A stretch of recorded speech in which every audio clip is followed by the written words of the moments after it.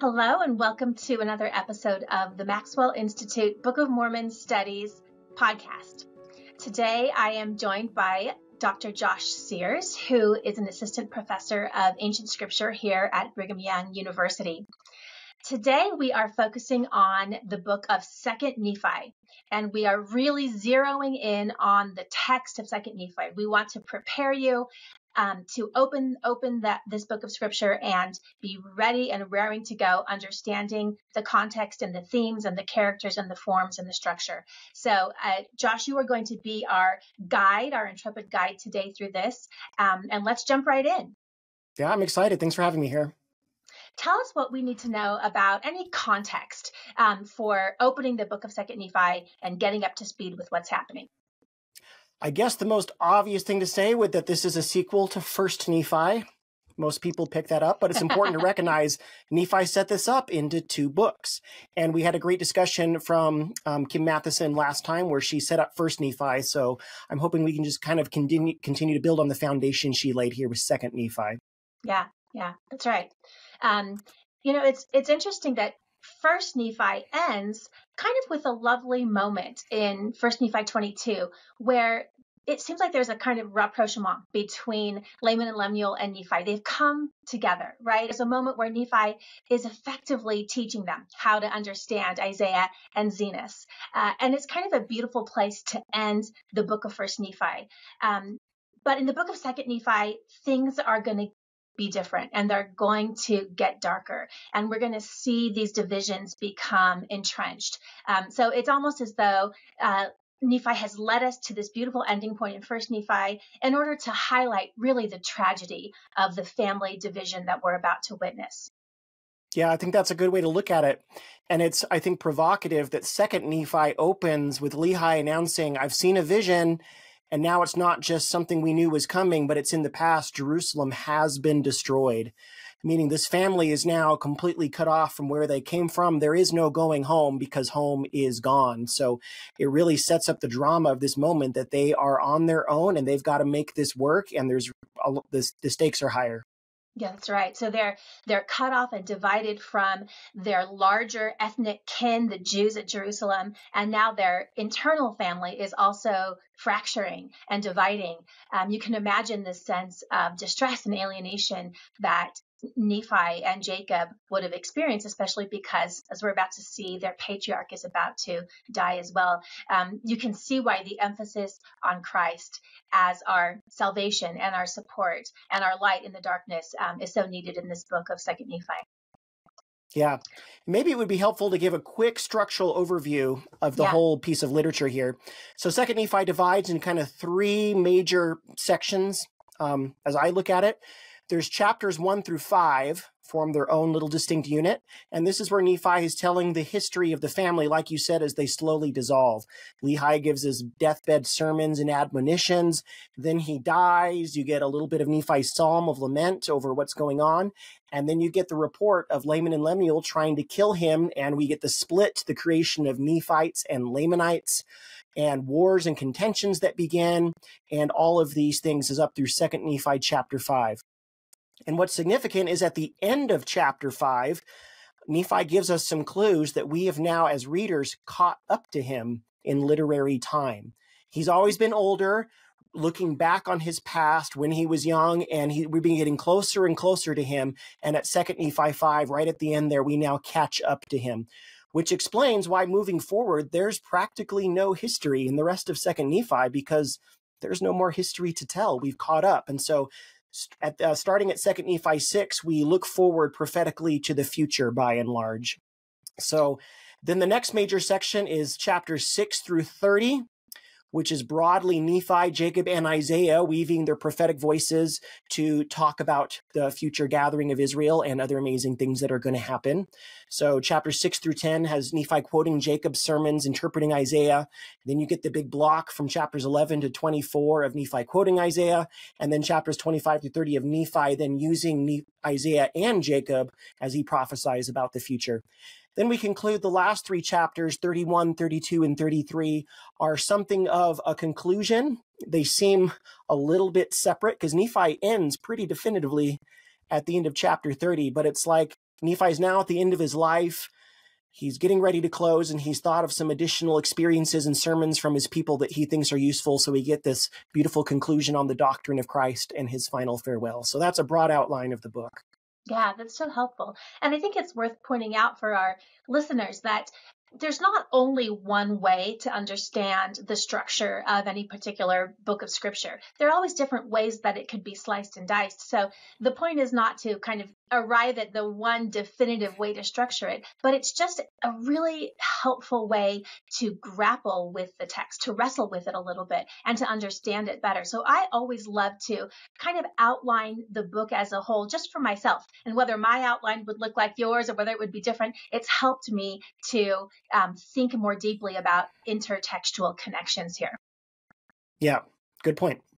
It, it's interesting um, as you as you note. Um, a lot of this book consists of these undated kind of contextless excerpts. And even when he quotes Jacob's discourse in chapter 6 through 10, he kind of treats it as more like a text because he doesn't give us any um, clues as to when it was delivered. He gives us no historical setup for this text. He just drops it in there. And then, as you say, he uses it alongside his lengthy quotation of Isaiah as a kind of text for likening, right? His um, yeah. his own unique um, process or technique for prophesying, which is to um, immerse himself in the words of another prophet and then use those words as the medium for the Spirit to speak to him to bring forth new revelations. So he sets Jacob's discourse alongside Isaiah, um, and this whole, you know, more than half large section of, of second nephi um, is takes place kind of in a timeless in the timeless space of nephi's own prophetic mind um, and it's an, an incredibly rich place to be. And we're going to see in just a moment, it seems as though immersing himself in the words of Jacob and Isaiah has just set his prophetic imagination on fire. And these chapters of 25, 26, 27, 28, 29, 30, they just keep on coming. So rich and just packed with Nephi's signature prophetic themes of deliverance, of Christ, um, of the last days, of Scripture, of likening Scripture and the delight of Scripture. So this is a high concentrated dose of Nephi's prophetic mind. And for me, it is indeed delicious. Yeah. And you've painted a very positive picture there, I've got to say, a second Nephi, more positive than a lot of readers think of this book. Um, you know, we have jokes in the church about this that you know that you know bullets if they're shot at the Book of Mormon can't make it through Second Nephi. All these things because it feels like such a barrier yeah. to readers um, to get through this. And of course, the biggest reason so many readers think of Second Nephi as being kind of a slog and a barrier is all the Isaiah that we got in some smaller doses in First Nephi to prep us. But boy, does it come thicker yes. in Second Nephi. Yeah. So um, it always um, saddens me when Isaiah becomes a barrier to readers appreciating the richness of Nephi's work because I very much feel like Nephi felt like Isaiah was the key to this whole thing and that it was essential to include Isaiah to really hit the messages Nephi was hoping to share with us. And yet it's sad that so often we see it as the opposite. Yeah, I agree. And just as a practical tip, something that's really helped me is to use an edition of the Book of Mormon. And Grant Hardy has done this in several his, of his editions, where during those chapters 25 through 33, where Nephi is really deeply interpreting Isaiah, um, he has he has bolded all of the direct quotes from Isaiah. So that makes it so easy to see Nephi's process. And I think it brings the, the Isaiah chapters alive as well. Um, so I really recommend you could do it on your own, right? Just with a cut with a search function, although it would be laborious. But visually allow yourself to see how it is that Nephi is using Isaiah's prophecies. And I think that makes it a lot easier to appreciate it and, and not just get through, but to see the richness and to see why Nephi is so obsessed with Isaiah. Yeah, so you can get that in Grant Hardy's the Maxwell Institute Study Edition of the Book of Mormon that's a little bit older, or yeah. his newer volume, the Annotated Book of Mormon from Oxford University Press. Either of those, like you said, will format the Isaiah as poetry, and it will, when Nephi's talking, it'll bold the quotes from Isaiah so you can instantly see what's Nephi, what's Isaiah, and see how those are woven together a little bit easier. Wonderful. All right. Anything else you'd like to add about structure before we move on to characters? That sounds great. Okay, so there aren't a lot of characters, as we've been talking about. There's not a lot of history, so the cast of characters is pretty restricted. But I think we get a new view of characters we've come to know already in Second Nephi. So tell us who who we've got before us here. Well, we open with the family, right? We still have Lehi and Nephi and Sam and Laman and Lemuel and everybody. The thing to especially keep in mind at this point, though, is that again, like we said, Nephi has always been writing this as an older man with the perspective of seeing how things are going to play out. So hmm. by the time we get to Second Nephi 5, when we've watched the family dissolve and break down into armed conflict, we realize that Nephi the entire time has known about this and retroactively, that can help us appreciate a little bit how he's framed Laman and Lemuel in such negative terms throughout First Nephi. The narrator is never wondering, oh, I hope that they'll repent and come around this time. He knows from the beginning where this is going. And he set himself up as a foil to Laman and Lemuel, who, of course, are lumped together. And that's why we say Laman and Lemuel as a single word. Lemuel's not even a real character, right? But yeah. as a foil to who has the proper right to leadership here, we finally appreciate getting into these chapters why Nephi has been setting it up this way. Yeah, that's right. So we've got the family. For me, um, reading these first chapters of Second Nephi um, with Lehi's final blessings to his sons, it it opens my heart to Lehi as a father because you really see that he never ever gives up on Laman and Lemuel until the very end. Um, he has known since his dream when he saw in his dream that Laman and Lemuel did not come towards the tree. He's known that there's a division in his family, but I feel like he never gives up the hope that Laman and Lemuel will sense the light and power in the new revelations that are coming to him in Nephi, and that they will start to to grasp onto that iron rod and come towards the tree. Um, although that doesn't happen, Nephi and Nephi, as you say, has a bit of a more hardened feeling towards his brothers, understandably. Um, I love to see Lehi's paternal, unending and con- unconditional paternal love for his sons.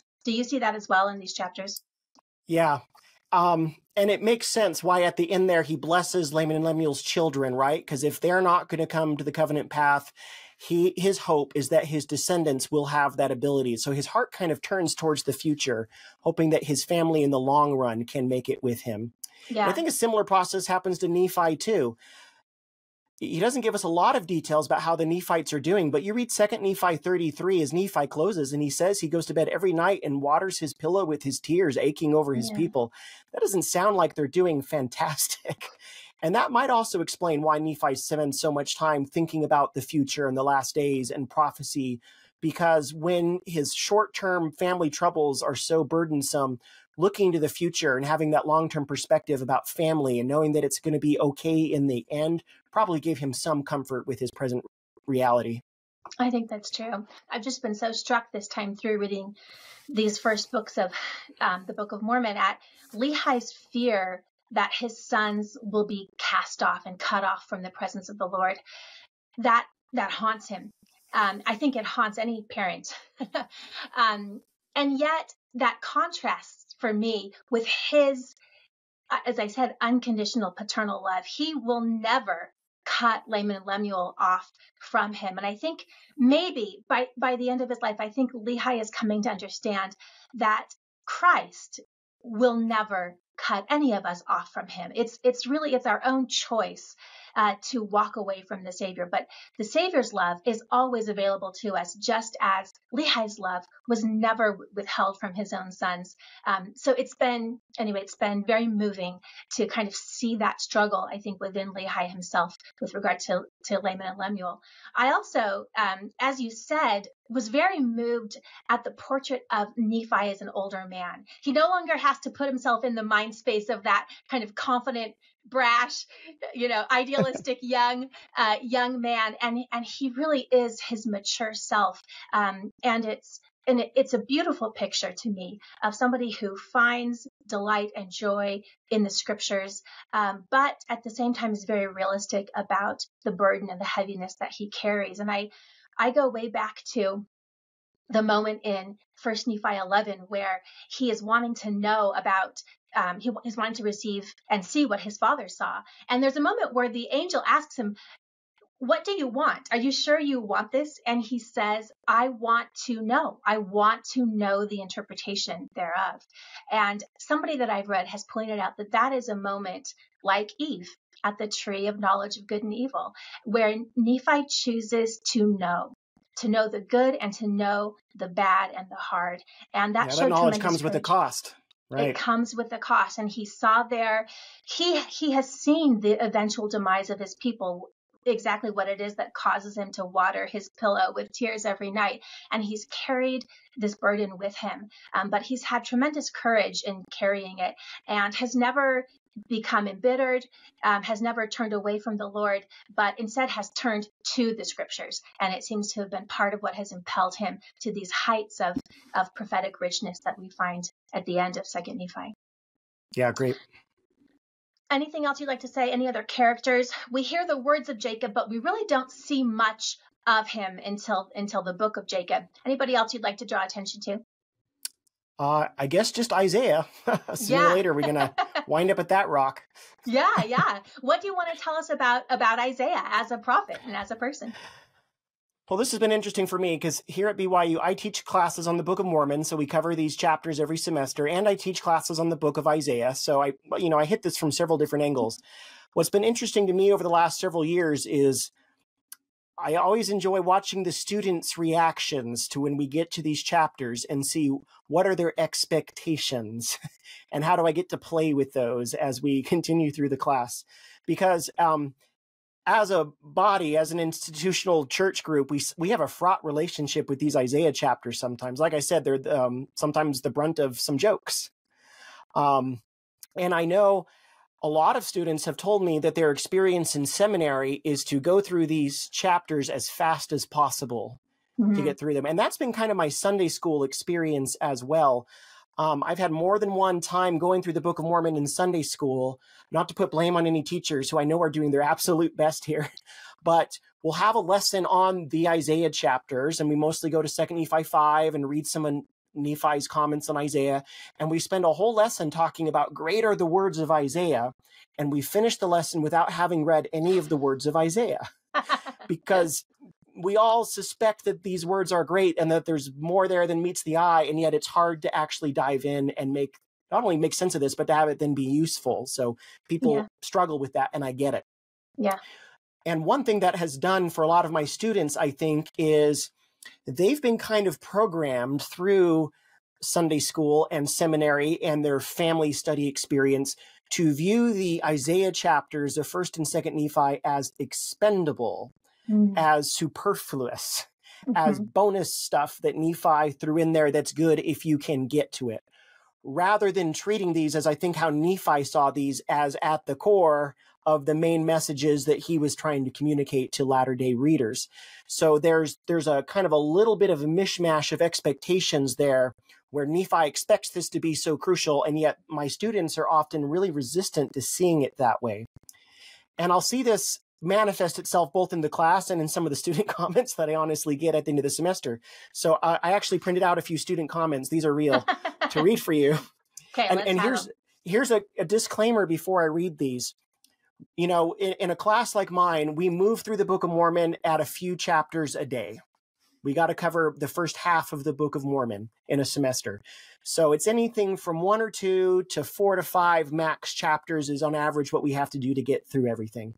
And when I get to the Isaiah chapters, I honest to goodness don't go through them any faster than I do or any slower than I do anything else. We're about the same pace as anything else. So some two, three chapters, sometimes more. But that's on average what I would do with Nephi building the boat or any other part of this. And yet, I consistently have students who feel like I'm really being slow and hmm. taking a lot of time. So, like, here's a couple comments from my student reviews a lot of time felt like I was in an Old Testament class instead of a Book of Mormon class. On a test, we had to answer questions about King Pekah and Ahaz, and that didn't seem to fit the Book of Mormon. And even though, to point out, these are two names that appear in 2nd Nephi 17, but this is not real Book of Mormon. Someone else says, we focus too much on the Isaiah chapters of 2nd Nephi. It made it seem like a class was Old Testament instead of Book of Mormon. Someone else says, I felt like he spent a lot of time in Isaiah instead of the Book of Mormon itself. now, to appreciate those comments, you got to understand we are not reading the book of Isaiah. We are simply reading these chapters of 1st and 2nd Nephi at the same pace as anything else, but I suspect what's going on is they've been so prepped through their previous life experiences to think that you either skip these chapters or go through them really fast in one setting that when we continue at the same speed that to them feels like I am being slow because that's not what they're used to. And I'm especially fascinated by comments that say, why are we studying the Old Testament instead of the Book of Mormon? Because I realize they're treating, say, 2nd Nephi 12 through 24 as if these are not real Book of Mormon chapters. Yeah. They see them as something other, which I think is just interesting from a pedagogical kind of point of view. So um, my job is to try to overcome that and help them see this as part of first and second Nephi. And obviously, from the student comments, I'm not always successful at selling this to them, but I think part of it is what they come in expecting.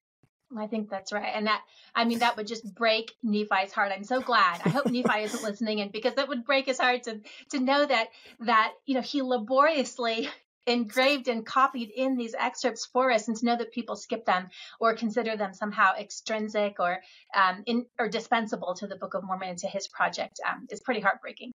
Yeah, and some students have told me, well, why don't we just cover this in the Old Testament year rather than here? Um, and my sense is that if Book of Mormon authors know we have the Bible, and yet they quote entire Bible chapters anyway, that's sending a signal that these are more important to engage with, not less. Like when Jesus quotes Malachi 3 and 4 in 3rd Nephi, Jesus knew we'd have that in the Bible. And yet it's there because he didn't want to limit our exposure to those chapters just to our Old Testament Sunday school year, uh, yeah. to put it in a modern terms, right? But now we're hitting it more often. So I think we really ought to be seeing Nephi's inclusion of whole chapters as an invitation to engage more deeply, not less. I agree. And, you know, as the Book of Mormon consistently does, it pulls back the curtain on the way scripture is made. In the Old Testament and the New Testament, even to a certain extent in the Doctrine and Covenants, um, you don't get to see actually how the book of how the book of scripture is put together. But Book of Mormon authors are so generous, especially here in the in the small plates, of letting us see how they do it. And this is Nephi showing us how he does it. He's showing us his source materials and inviting us to read them for ourselves and to check his work, right? We can read them ourselves and check his interpretations. He's showing us how he does it. Um, and how tragic would it be just to ig- ignore that, um, the generosity of that gesture, of that prophetic gesture. Yeah. And the fact that he's being so explicit about what he's doing and why gives us very little excuse to see these chapters as just something he threw in there because he had time to kill. Right? He's very clear about signposting the fact that he sees Isaiah as very crucial and something that we need to understand. Yeah. Well, what else? Is there anything else that you'd like to? I'm sure there's a lot more you would like to talk about with Isaiah, but before we move on to talking about the literary forms, um, anything else you'd like to cover about Isaiah? Well, I've got some like uh, maybe tips for not being so panicked about these. Do you want to hit those now? Yeah, and... let's hit those now. Okay. Yeah. Well, again, this is based on my years of, of the students, and I'm always asking them, hey, what's been your previous experience with this? And I pay attention to what questions they ask and what they say because I'm trying to gauge where the students are coming from um, as they do this. And and you know then I've got senditul experience and every, all the other typical experiences and everything. So based on that, one thing that I think creates a barrier for a lot of people um, is they assume that these Isaiah chapters are not really about something that it's just a kind of hodgepodge of prophecy this and a little bit of that any what I'm trying to say is they fail to understand that the Isaiah chapters are actually telling a story. It's describing specific points in the history of ancient Israel. Mm-hmm. And that when you recognize what stories it's telling, that gives you a huge interpretive boost in figuring out what Nephi's doing with them because Nephi knew what these chapters were actually about. So here's a, just a, a silly example. Let's say that President Uchtdorf was giving a talk in conference referencing his childhood, talking about World War II. And in the space of a few paragraphs, he references, say, the name Hitler and something called Pearl Harbor and something called D Day. Uh-huh. Um, but let's say you have someone reading his general conference talk, and for whatever reason, they have never been exposed to any knowledge of World War II. Those paragraphs are not going to make complete sense if you don't know who Hitler is, that he's a leader or Germany or that he's a bad guy. You need that kind of background, or these paragraphs are just not going to make sense. I have a lot of students and others I see who struggle with these Isaiah chapters and they tell me, well, I've tried praying and fasting and seeking the spirit and I still cannot figure these out. and I'm thinking, well, if you didn't, if you have this President Uchtdorf talk and you were praying and fasting for illumination, you can pray and fast a lot. And those are great things. Be sure yeah. you're doing that.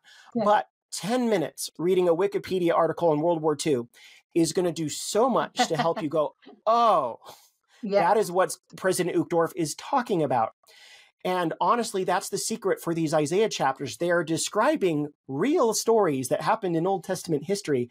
And a little bit of know how about what was going on in these stories can make you go, oh.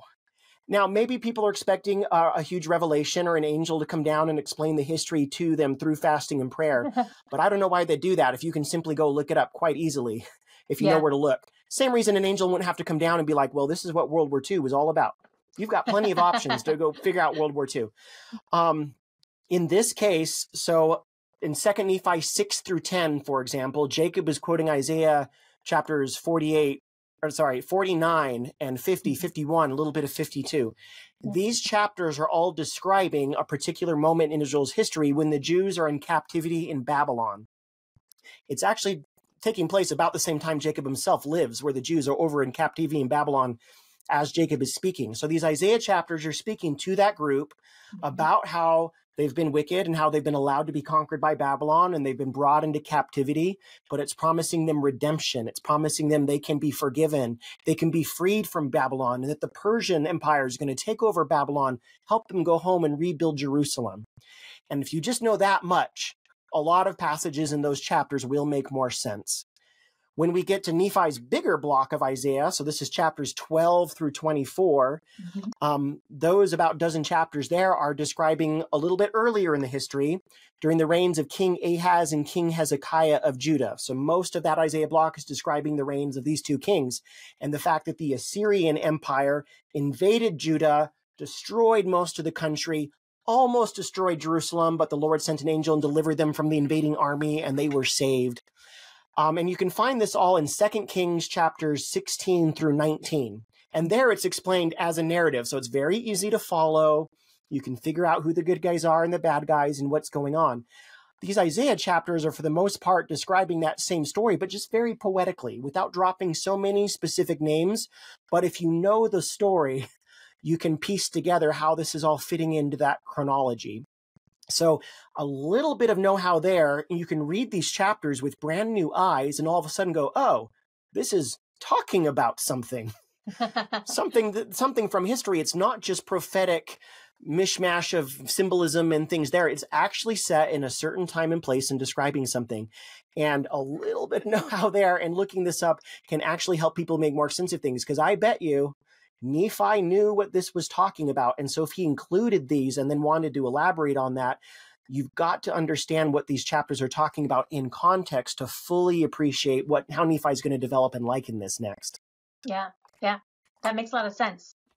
Um, well, let let's then talk about how these blocks of Isaiah show up in um, in the Book of Mormon itself, along with other type of literary forms. As we've been talking about, Scripture can take lots of different um, forms, literary forms. And when I say literary, I don't mean like fiction. I just mean different ways that you can express yourself, different modes of discourse. Um, and Isaiah, of course, famously was a poet prophet. Um, so mm-hmm. his um, we see these large blocks of poetry dropped here into um, Second Nephi. Now, it may not look like poetry; it might just look like normal prose, um, but really, it's poetry. Do you think it matters to know that that Isaiah was writing in poetry, in poetic form? Very much so. And that's why we mentioned those new Book of Mormon editions by Grant yeah. Hardy earlier. That formats the poetry as poetry, so you can instantly see, oh, this is poetry. And we instinctively know that you would you read poetry differently than you do prose narrative. So yeah. just understanding that most of these Isaiah chapters is poetry should help us read it a little more informed, that this isn't just straightforward discourse. Yeah. Another thing that's helpful with that is recognizing that Isaiah is being poetic and that he's not writing this. A lot of people assume this is something like the book of Revelation, where everything is a secret cipher. Yeah. Um, so I'll explain the difference there because this is really crucial. Because again, I have students coming in, and this is kind of how they've been prepped to see Isaiah. Because if you're reading, say, the book of Revelation, we know in Revelation nothing is as it seems, right? Everything is this deep symbol, it's a secret code. If there's a lamb with horns and eyeballs, we know it's not a literal, real lamb with lots of horns and eyeballs. I mean, you can Google it and find really grotesque photos of people um, creating artwork with this literally, but it's supposed to be symbolic. The horns represent something, the eyes represent something, the lamb that is slain represents something. So in the book of Revelation, you're always supposed to be thinking, this is not what it seems. What is it actually pointing to? And then people import that into the book of Isaiah and they think everything in here is a secret code and what I've got to do is figure out what it all represents. So I'll just I'll just pick a an example from the first chapter of Isaiah here. I'll just read one verse that I've seen lots of people do something like this and I'm not exaggerating by much. um let's say um so verse 2 and 3. Hear O heavens and give ear O earth for the Lord hath spoken. And then the Lord speaks. I have nourished and brought up children, and they have rebelled against me. The ox knoweth his owner, and the ass his master's crib. But Israel doth not know, my people doth not consider. And some people, again, in Revelation mode, Book of Revelation mode, they start free associating here. What can all this really be talking about? Mm-hmm. And they'll look at, okay, there's an ass here. And they'll think, what political party has a donkey as its mascot? and all of a sudden they're doing American politics, uh-huh. right? And that kind of free association where anything can mean anything can be fun for personal study, but it's not going to necessarily help you get into Isaiah in his original context and what he's thinking. Um, so that's the kind of thing we have to be careful about. So instead of being a secret cipher, I invite people to always remember Isaiah is poetry. Mm-hmm. And usually he's got some kind of main point he's trying to make. And he expresses that point over and over again using metaphor and simile and imaginative imagery. He's just got mm-hmm. really creative ways of expressing it. Um, and that'll help you, I think, stay a little closer to what Isaiah was trying to get at rather than imagining this always has to be about the last days. It's always a secret code. I've got to crack the code.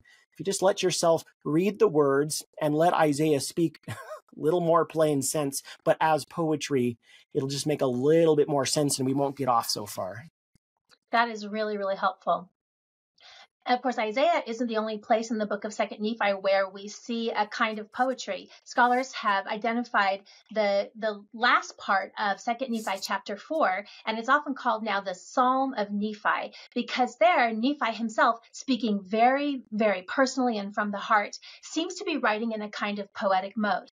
Again, in the original Book of Mormon, it wasn't formatted as poetry, but scholars have gone through and kind of reformatted it in a way that allows you to see um, the parallel parallelisms and the movement of images and metaphors um, as as Nephi in this beautiful poetic form of a psalm expresses his deep anguish, his sense of failure and abandonment, and then reaches out to the Lord and describes how he has been strengthened um, by his trust in the Lord and by the joy and delight that he takes in the scriptures, um, using um, the Psalms esque language and um, imagery that is very reminiscent of the Psalms.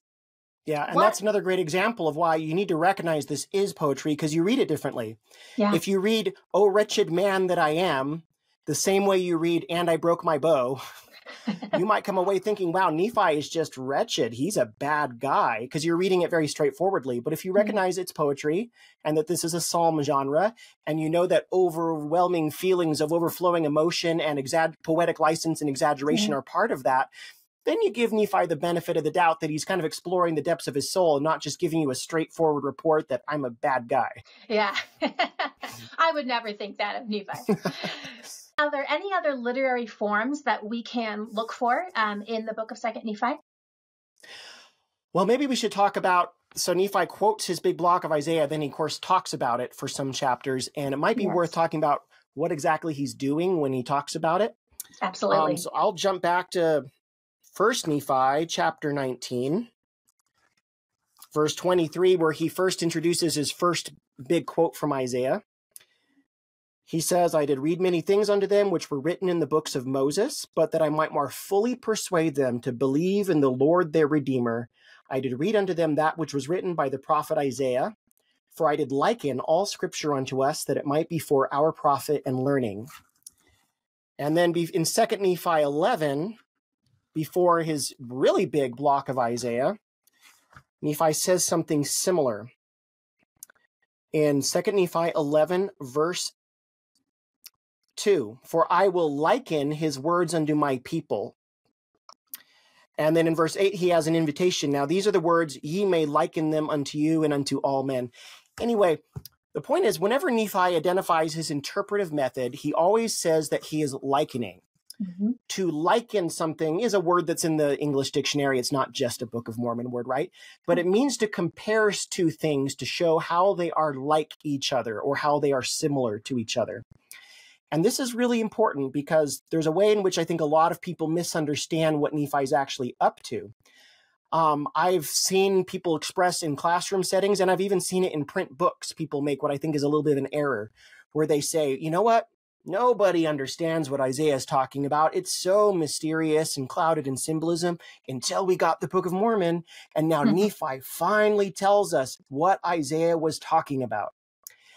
The problem is, Nephi doesn't tell us, he doesn't say that he's telling us what Isaiah was talking about. He says he's likening. To liken something means, by definition, you're comparing two different things. So, to, to pick a simple example, I cannot hold up two apples and say, uh, Rosalynde, how is an apple like an apple? There's no way in which apples are like or similar to apples because in every aspect they are exactly the same thing. Um, but I could ask you, how is an apple like an orange? Mm-hmm. And you could tell me they're delicious, they're nutritious, they're round. We could come up with all sorts of similarities, but those similarities are only meaningful because there's also differences between apples mm-hmm. and oranges. Mm-hmm. So when Nephi says, guys, I am about to liken Isaiah, and then he gives us an interpretation, that means by definition that whatever interpretation Nephi gave us cannot be what Isaiah meant. it has to be different or it would not be likening. Nephi is saying Isaiah was talking about this. Mm-hmm. I want to prophesy about this over here. These are different events, mm-hmm. different circumstances, but I want us to draw attention to ways in which they are like each other. How are these two different events similar? Yeah. And allowing ourselves to see that is helpful because First, it encourages us to actually pay attention to the Isaiah chapters and see what did they say in their original context, because that's what Nephi is building on, rather than just assuming I'll read Nephi's interpretation and he's going to tell me what Isaiah said anyway, and therefore I don't have to do any work in the actual Isaiah chapters. Yeah. Um, and that helps us then appreciate the richness of Isaiah's comparison. Um, because in second nephi 25 through 30 when he's likening isaiah both in specific passages and in broad strokes the better you understand the original point of comparison the thing isaiah was talking about in its historical context the richer and deeper and more appreciation you can get for the comparison nephi makes when he's prophesying of the last days yeah and that's not to say that you have to understand everything about isaiah to get anything out of these end chapters of second nephi um, but it'll just be richer and deeper. It's like if President Nelson told us, hey, everyone, you should read your scriptures like Dr. Johnson does. And we could, now, if you don't know who Dr. Johnson is or what is her story or how she reads the scriptures, you can still take something from President Nelson's advice because you can take out of it, I should read the scriptures. Yeah. That's a good thing.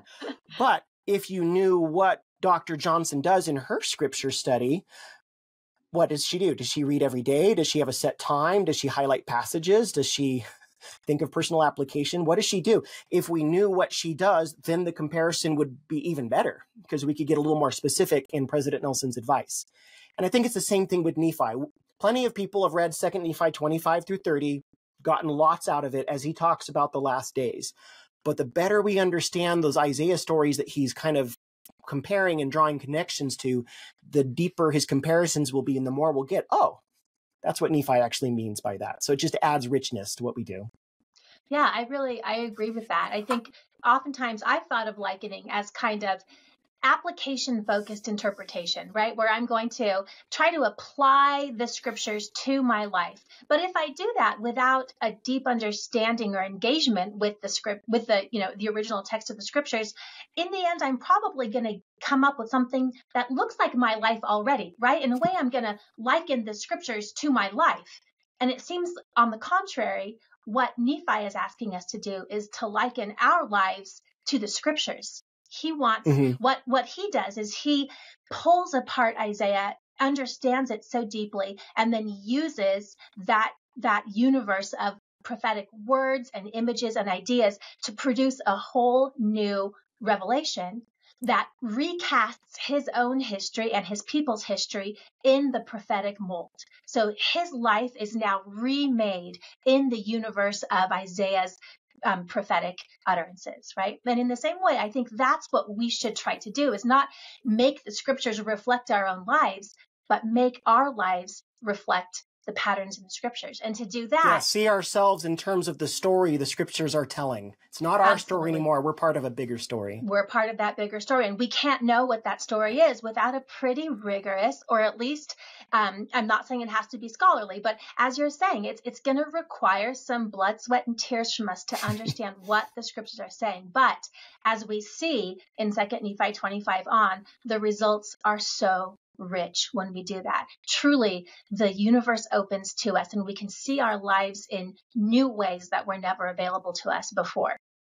Yeah. And again, understanding those historical moments in ancient Israel that the Isaiah chapters are talking about and going, okay, I can see what's there now. Can then you can see what Nephi does with it. Um, so it just in very brief, broad strokes here, each of these moments in history involves a remnant of Israel that's in trouble. You've got yeah. the Jews in captivity in Babylon. They've really blown it. They're suffering the consequences of their bad decisions. And there's this promise of redemption. God saying, Come to me. I will get you out of captivity. We can rebuild your lives and I can lead you to prosperity and being blessed again. In the case of the Assyrian invasion of Judah, you've got people that are getting attacked and they're facing death and they're in real trouble here. And it seems like no one else can deliver them. But then the God of Israel is able to save this righteous remnant that comes to him and is able to liberate them from these attackers. And with these two remnant stories, Nephi sees, I think, broad patterns that repeat themselves in the lives of his own people and for us in the latter days. That today Israel is scattered, Lehi's family is dwindled in unbelief. We have people all over the world that have forgotten their covenant relationship with God but the same God that saved Jerusalem from the Assyrians and the same God that brought them out of captivity in Babylon is the same God today who is reaching out to his children across the earth and gathering them home and inviting them to come back in covenant relationship with him. And Nephi just sees Isaiah, I think, is just giving this wonderful model for the way that these same principles, with their historical differences, right, replay today. And that once you can draw those parallels, you start to see all sorts of things. And I think we can really get on to what Nephi saw was so exciting here. Yeah. You know, another thing that might be worth mentioning while we're talking about Nephi's kind of characteristic way of, of prophesying his form um, is what he calls plainness right he talks about this a lot that that plain and precious things had been taken out of um, the the book that we now understand as the as the Bible, but that he wants to restore the plain and precious things, and that he wants to prophesy with something that he calls plainness. And this time through, um, I've been paying attention to that and trying to put my finger on what exactly Nephi means um, when he says that he prophesies plainly, um, and that some people don't appreciate the plainness and, and reject it. as far as I can tell, um, one thing is simply the, the very detailed nature of the Book of Mormon's prophecies and predictions about the life of Christ. So it, the, the Book of Mormon gives us far more information um, ahead of, you know, a, ahead of Christ's coming about who he is, about his name, about his mother, about his ministry. Um, so there, so the life of Christ, the mortal ministry of Christ and his post-mortal ministry are laid out very plainly. But I think it's mm-hmm. a lot more than that as well. It seems like it also, part of what Nephi means by plainness is that when he teaches about Christ, and about the coming Messiah, he is doing so with an already developed theology of salvation. So the prophecies, the messianic prophecies, come bundled with a whole set of teachings about what it means to be saved in Christ as individuals and as whole peoples. And a big part of that in the Book of Mormon is the covenant context. So part of what Nephi means by prophesying with plainness is to reintegrate the notion of covenant the new and everlasting covenant as we know it in the restoration um, that christians have often excised from the gospel of Jesus Christ, right? Or said that somehow the old the old covenant is over now. Um, but Nephi shows us no, the old covenant um, is is the new covenant. It's the everlasting covenant, and it's st- still in effect. And it seems yeah, like he calls one... it the covenant that's not going to be fulfilled until the latter days, right? Jesus didn't fulfill it when he showed up in mortality. This is still relevant for us now. Yeah, exactly. And it seems like one final element of plainness that you can look for throughout Second Nephi are um, these moments of self awareness when it's as though the prophet looks up from his work and is looking right at us, the readers in the latter days. As I mentioned before, um, Book of Mormon prophetic authors are incredibly transparent about what they're doing and why. And occasionally they speak directly to us. Always they seem to have their future Latter day readers in mind. So it seems like that kind of direct relationship between the prophet and his eventual readers is part of what Nephi has in mind when he talks about plainness. Yeah. And ironically, that's one way in which I think readers run into trouble trying to make sense of Second Nephi and make it meaningful. Is sometimes Nephi is trying to say some pretty plain things to us, but we have our own agenda and our own questions and our own things we think are important that we try to uh, use to guide our questions of Second Nephi, and then that's where some frustration comes. So here's one example. You you mentioned Nephi in the Book of Mormon being very plain about the ministry of Jesus Christ, right? Yeah. Um, a lot of my students, when I asked them, what did your seminary teachers and your Sunday school teachers tell you about why the Isaiah chapters are in here in the first place? A very common response I get is their their teachers told them, "Well, Nephi quoted this big block of Isaiah because it prophesies of the coming of Christ, by which they mean, you know, his birth and his mortal life, his death and his resurrection." And so the teachers prime the students to think these chapters testify all over the place of Jesus's mortal ministry, and that's what you got to be looking for. And the teachers will give some sample verses to make that point, like um, 2 Nephi 17, verse 14, quoting Isaiah 7, verse 14, you know, a virgin shall conceive and bear a son and call his name Emmanuel. And they're like, see, mm-hmm. look, here it's yeah. doing that here's part of the problem is that Nephi is in second Nephi, I think, trying to teach us about Jesus Christ. But we, I think if we just follow what Nephi says, plain and simple, we've got to recognize he's not that interested at this point of talking to us about Jesus's birth and mortal ministry. Usually that's not his focus. Nephi is usually focused on the Jesus Christ who is there in the latter days as the God of Israel, gathering his people home to him from the four quarters of the earth. That's the Jesus that Nephi wants to teach us about. Nephi knows that Jesus' first coming is in the past for us. He wants us to look forward to the future, to the second coming, and all the wonderful things going on right now. So, elsewhere in the Book of Mormon, it's different. Like Abinadi, he interprets Isaiah to talk about the mortal ministry and the atonement and suffering and death of Jesus. That's great. But sometimes we put on Abinadi glasses and then go into second nephi and that's all we're looking for and that's where students sometimes get frustrated. Um, and if we use nephi as our guide to what these chapters were in there i don't think the birth of jesus really rises to the top of the list because in second nephi 25 through 30 when nephi's interpreting those chapters he doesn't talk about the birth of jesus. He mentions his mortal in life in total, like in one or two verses, just in quick passing in super fast historical overview. So for Nephi, for his present purposes, that just doesn't seem to be where his focus is. But a lot of people, when they read these Isaiah chapters, are really just trying to look for that aspect of Jesus' eternal ministry. Um, and you're just not going to find it too often. So what I would recommend to people to is take off the Abinadi lenses, let Nephi guide you.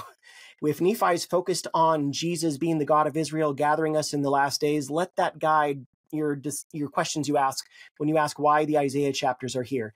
when you're in the Isaiah chapters themselves, it's describing Jehovah saving these remnants of Israel. And Jehovah, we believe, is the premortal Jesus Christ. So we can look for the Savior there in his Old Testament premortal context, redeeming his people and helping them. And then Nephi likens that to how he's going to redeem and rescue and help us in the latter days. So I'm not trying to dismiss the importance of Jesus' birth and mortal life, but I think that's just less relevant to in Second Nephi what Nephi is usually trying to do. So allowing ourselves to learn about the Savior at different times and places and not being so fixated just on the years of his mortal ministry, I think help us appreciate more of what Isaiah is actually doing and getting less frustrated that we can't find it very many places. Yeah, that's really helpful. Any other particular type of literary forms that we should have our eye out for here in Second Nephi? Hmm. I think I would, we've about covered the major ones, but unless yeah, you have an I'll, idea you want to look at.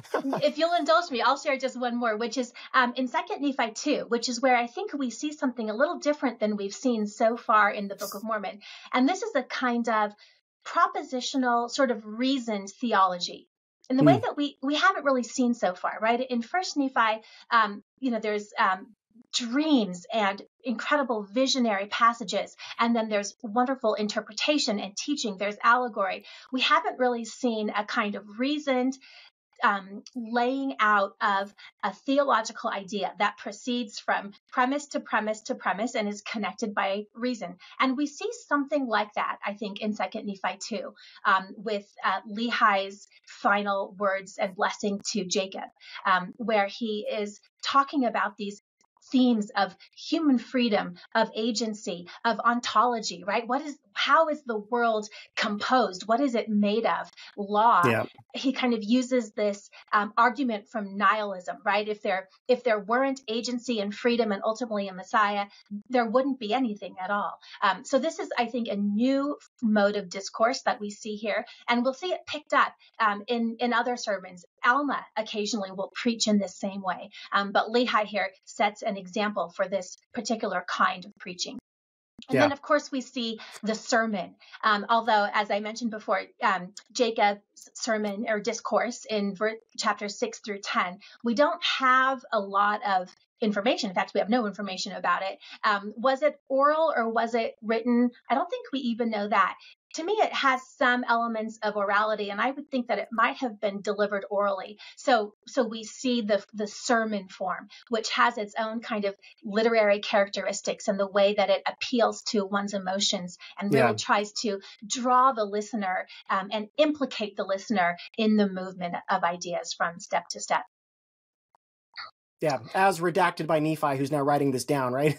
of course, of course. Yes, that's right. That's why talking about what's oral and what's written in the Book of Mormon is always um, a very layered and, and sticky proposition. Um, but good. Okay, well, let's move on now to talking about some of the themes. And this is where we could spend an hour on every single one of this because, especially these last chapters, are so thematically rich. But for you, Josh, um, what are some of the most salient themes that come out um, here in Second Nephi? Well, Nephi, fin- you know, he opens First Nephi chapter one talking about the redemption of the world. We finish First Nephi quoting Isaiah, where he says, "I want to talk about the Redeemer." In particularly, and I think that setup really plays out here in Second Nephi. That Nephi is interested in redemption. His family's fallen apart. We have Nephites and we have Lamanites. Um, they have their own kind of scattering that's occurring within the broader scattering of Israel, and Nephi really wants to work through for himself how this is going to work in his family and reassure Latter day readers that God has not forgotten the covenant and that the Redeemer of Israel, who rescued his scattered people in antiquity, is still there for us, both on an individual level of families and the broader covenant people as a whole scattered all over the world. That there is a plan here to gather everyone back. And so I think that's permeating all of this and driving Nephi's uh, hope for the future. Yeah. Yeah there's a couple that I that I think are sort of related to that. Um, one is a little bit of a of a darker one. Um, in this sort of salvation history, mediated by covenant where peoples, you know, in, the largest scheme, of course, it's about the redemption of the Lamanite remnant and the in the latter days and the redemption of the Gentiles through the act of serving and helping the Lamanite remnant, right? The, this beautiful passage that we come to again and again in the Book of Mormon from Isaiah. Josh, you'll remind me where it's from, where the Gentile kings and queens carry the chil- the, the sons and daughters of the of the remnant on their shoulders as nursing fathers and nursing mothers. Yeah, Isaiah 20, 49, 22, and 23 there we go. Thank you. So this becomes a touchstone, of course, for the history of the latter days, where God's um, intention to save or to offer salvation to all people will be realized through the, these big movements of peoples, um, the coming forth of the Book of Mormon it, to the Gentiles, and then the Gentiles' faithful offering of the um, of the Nephite and Lamanite record to the Lamanite remnant, and in that process of offering and sharing, both peoples, it seems, will be brought to Christ. Christ. Um, so that's that's the optimistic vision. Um, but there's a kind of um, dark vision that comes out as well because we see in this broad salvation history um, that some people will fall away. The Nephites will dwindle um, in unbelief. The Lamanites themselves will dwindle for a time um, in, in darkness and unbelief. And so we have these ideas of hell and the devil, um, a lake of fire and brimstone um, that are developed, especially in the teachings of Jacob um, in chapter, especially in chapter nine, where he talks about these, these awful monsters of death and hell. Um, those aren't maybe passages that we love to dwell on. And maybe we spend less time on them now especially but they do seem to be rather formative because we will see this image of the lake of fire and brimstone and this kind of um, can I say harsh teaching or straight talk teaching, um, fear based teaching, right? That that shows the anguish and the pain that results from being cut off from the presence of God. I think it's offered in good faith, as Jacob will tell us in in the book of Jacob. Um, the prophets feel as though it is their heavy responsibility to make sure that their listeners understand the consequences of accepting or rejecting new revelation from God. And so they have to make it perfectly plain what is at stake. Um, and so it's in service of that that these um, that these teachings of the lake of fire and brimstone and, and hell and um, and endless torment show up. Um, nevertheless, they can be a little bit hard to make sense of, and they can be a little hard to hear. Um, would you have anything to to add to that? Yeah, I think you're right that you do have this dynamic of, hey, here's real consequences that can sound very severe, and also these very hopeful messages. Um, I think the Book of Mormon is pretty consistent with saying that because of the covenant, God is always willing to forgive as people repent and come unto Jesus Christ. But they do have to repent and come unto Jesus Christ. That is an absolute use your agency, gotta do it requirement at the end of the day. Like Second Nephi chapter 30, as Nephi's wrapping up his discussion, he's got talks about, you know, Gentiles can be numbered with the house of Israel and everybody can come into the covenant, all good things.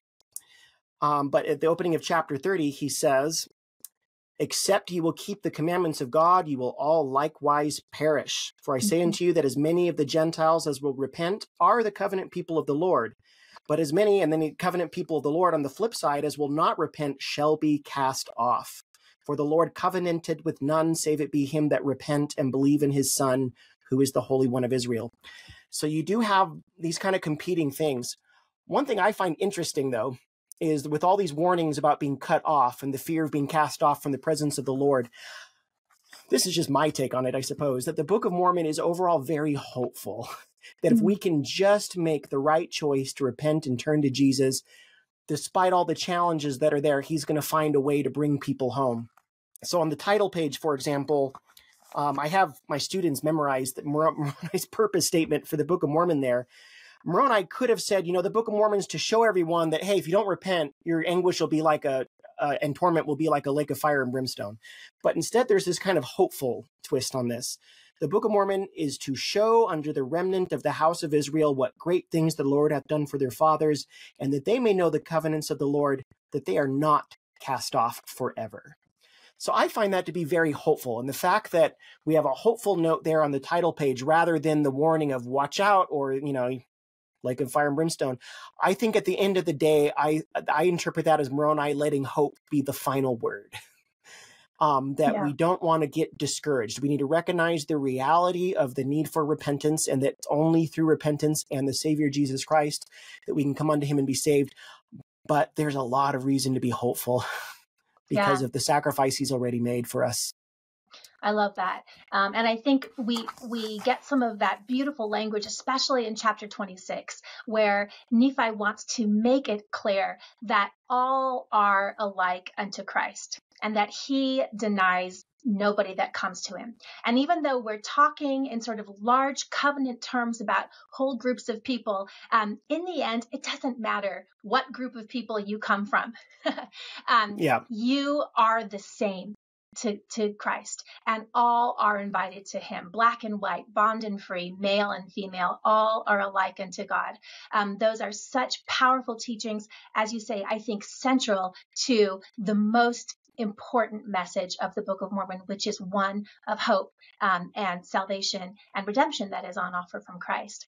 I think it's um, it's interesting that I I love those those verses and we cite them often in in um, Second Nephi twenty six thirty three, for instance, I have often been guilty of not really noting the context that they come in, but I noted it this time around, which is uh, Nephi's prophecy of kind of the decline of Gentile Christianity in the latter days and the, the sorry state that churches will find themselves in, stratified by class and by all sorts of divisions and pride and superiority um, that in fact causes them to deny or um, so repulses or repels some seekers that you know that they are effectively denied from finding Christ in Christianity. So I think that's yeah. a real warning to speaking to us, um, those of us who are Christians in the latter days. Um, he is speaking to us and saying, "I see this tendency in latter day Christianity to, for whatever reason, especially pride and wealth,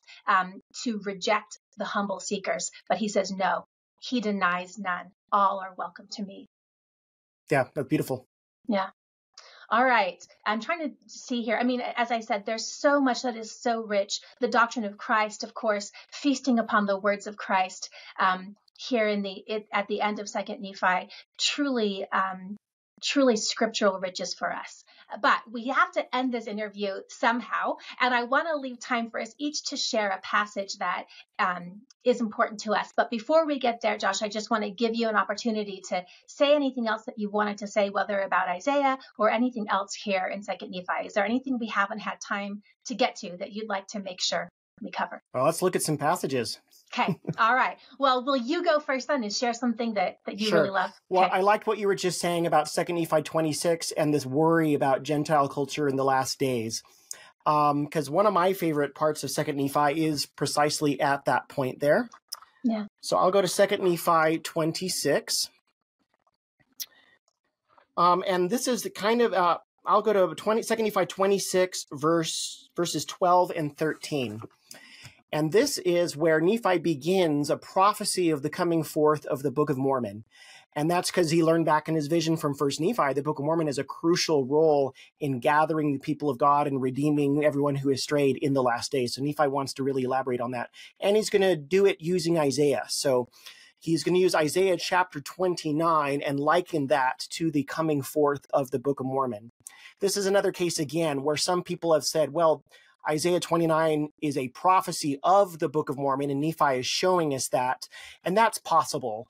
But again, since Nephi is always telling us he's likening, and because you can make sense of Isaiah 29 being about things in Isaiah's day with the Syrians, uh, is Assyrian invasion, I'm inclined to think that Isaiah 29 is about the Assyrian invasion, and Nephi is likening its language to the coming forth of the Book of Mormon. But you could mm. see that different ways.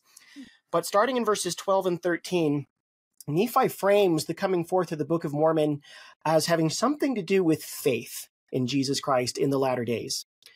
He says, And I spake concerning the convi- and as I spake concerning the convincing of the Jews that Jesus is the very Christ, it must needs be that the Gentiles be convinced also that Jesus is the Christ, the eternal God, and that he manifests himself unto all those who believe in him by the power of the Holy Ghost, yea, unto every nation, kindred, tongue, and people, working mighty miracles, signs, and wonders among the children of men according to their faith. Mm. And we have this introduction to the idea that it's according to faith. And then I'm not going to read most of chapters 26 and 27, but Nephi goes pretty systematically through the verses of Isaiah 29 and uh, modifies the words and likens the words to different aspects of the Book of Mormon's coming forth. And one place that's actually kind of famous is in chapter 27, um, starting at about verse 6 and on, where he talks about this this book that is sealed, right? That someone who is not learned is going to take to the learned. Um, and traditionally, we interpret this as Martin Harris taking a sample of the Book of Mormon translation to Charles Anthon, right? And the conversation they have. And I think that's part of this, but that it also goes deeper than that. Um, our colleague, Joe Spencer, has an article that he wrote about this passage, and it's um, for free on the Religious Studies Center website. It's called The Book, The Words of the Book, What the Book of Mormon Says About Its Own Coming Forth. So readers can go find that on there. Um, but what Joe points out that was fascinating for me the first time I grappled with this is that in verse 15, it says, It shall come to pass that the Lord God shall say to him to whom he shall deliver the book, Take these words which are not sealed, deliver them to another, that he may show them unto the learned, saying, Read this, I pray thee. And the learned shall say, Bring hither the book, and I will read them. Verse 16.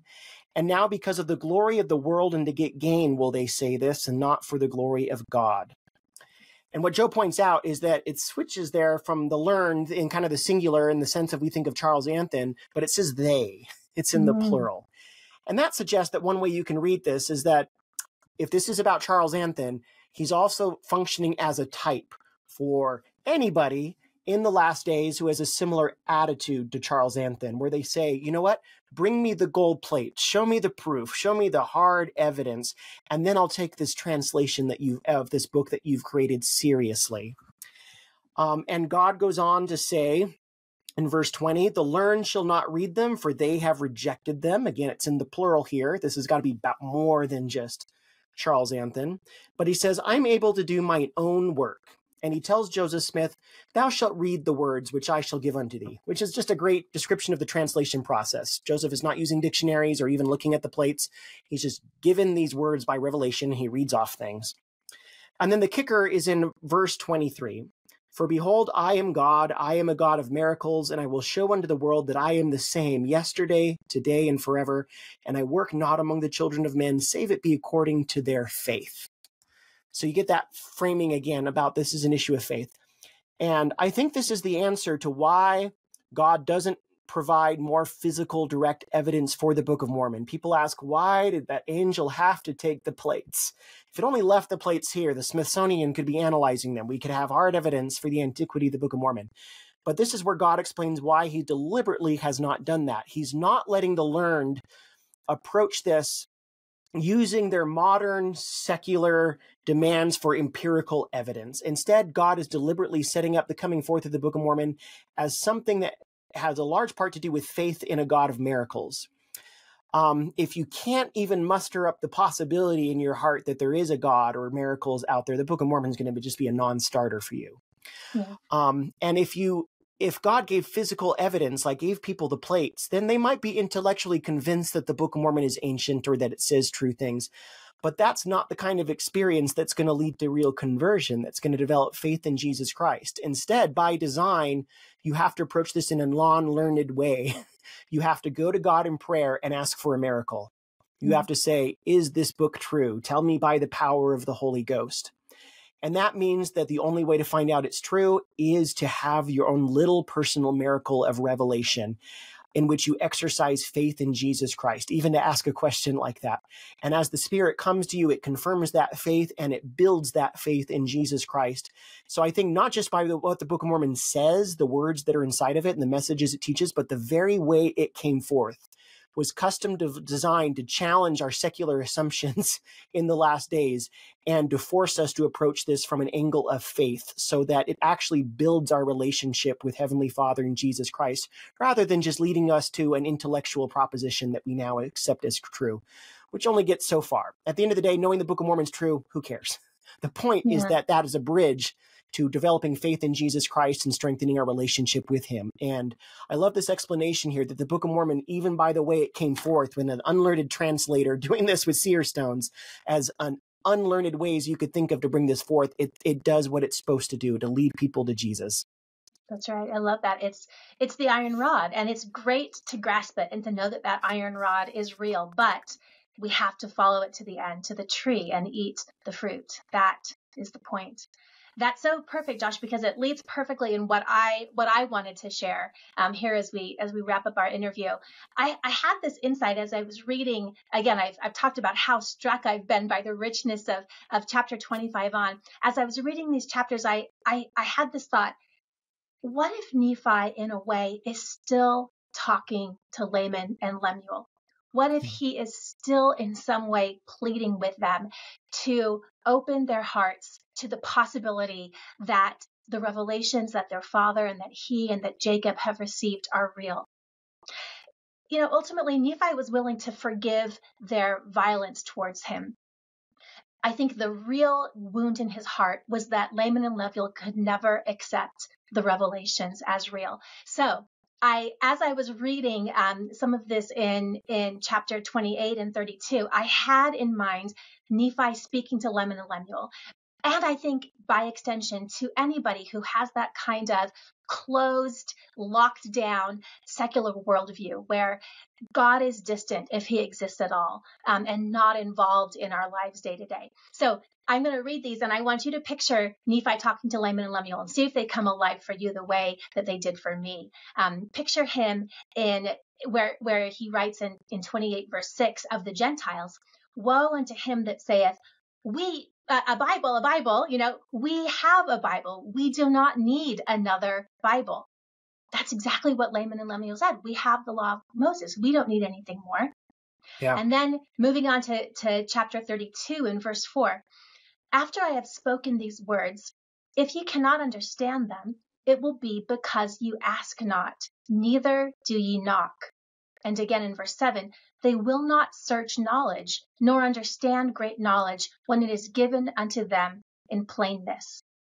I think he's pleading with his brothers if you would ask in good faith, if you would knock, if you would seek to know for yourself, you could know and you could then you could find the iron rod and it would lead you to the tree and you too could partake of the fruit um, so the the openness and the willingness to countenance the possibility of new revelation to countenance the possibility that god could be speaking through the prophets and that he wants to speak to you as well I think is the, the central plea of Nephi. And as I said in our first episode, it brings me back again so powerfully to the Sermon on the Mount, uh, Matthew 7, verse 7. Ask and it will be given to you. Seek and you will find.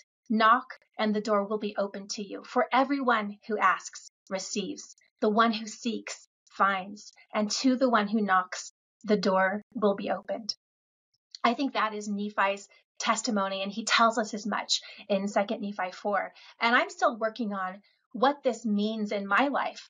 Um, what does it mean? How, how, am I asking and seeking? And, and has that door been open to me? These are still questions that I'm discovering for myself. Um, but the message of these first two books in the Book of Mormon has never spoken more powerful, powerfully to me than it has um, this year as I've read through it. And that's a really beautiful way to think about Nephi's continued relationship with his brothers and how he views them. I've got a little exercise I do with my students sometimes where I ask them, picture Lamanites in your mind. Close your eyes, picture Lamanites. And on the screen, I'll put a painting of a bunch of guys wearing loincloths with swords and axes and things. like, is this kind of what you picture? And a lot of them go, yeah, those are Lamanites. Uh, and then I play a little video. It's from the church's Book of Mormon videos that they've made. Second Nephi 4 has this beautiful little video where Lehi is giving that final farewell to Laman and Lemuel's grandkids and promising them blessings, you know. And at the end of his speech, all the grandkids run up to him and they have this big group hug.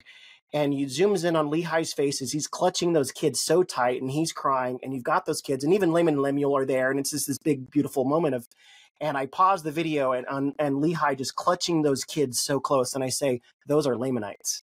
Mm-hmm. Right. And I think we got to reframe this, right? Because we think Lamanites the bad guys, the enemies, but for Lehi, these are his grandkids. And for Heavenly Father, you know, even the most incorrigible sinners, these are his kids. This is his family. And it's always worth fighting to bring family home. And it's always worth maintaining hope that family can come back. So I love how you've expressed how Nephi might have uh, continued to hold on to that hope for his brothers, um, yeah. that in the long run, maybe, just maybe, his messages can finally get to them. Which of you, if your son asks for bread, will give him a stone? Right. Thank you so much, Josh. This has been such a rich conversation. I'm excited to read Second Nephi again. I think I want to start over from the beginning. Um, it's such a wonderful book. Thank you for your time and sharing your knowledge with us today. Yeah, thank you.